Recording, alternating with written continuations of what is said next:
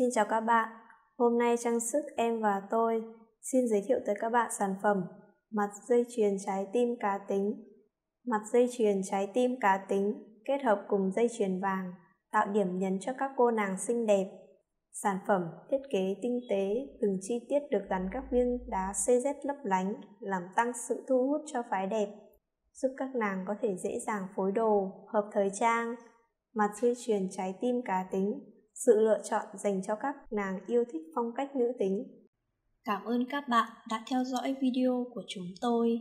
Nhớ like, chia sẻ và ấn đăng ký kênh để nhận thông báo khi có video mới nhất. Nếu có góp ý hay bất kỳ câu hỏi nào, hãy để lại bình luận bên dưới. Hẹn gặp lại các bạn trong các video tiếp theo. Em và tôi trao chọn niềm tin, đồng hành cùng bạn.